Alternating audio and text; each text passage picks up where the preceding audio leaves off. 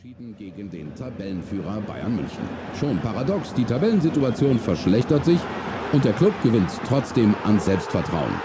Traumtor von Svece Misimovic lässt die Globerer lange träumen, doch neun Minuten vor dem Ende setzt der eingewechselte Lukas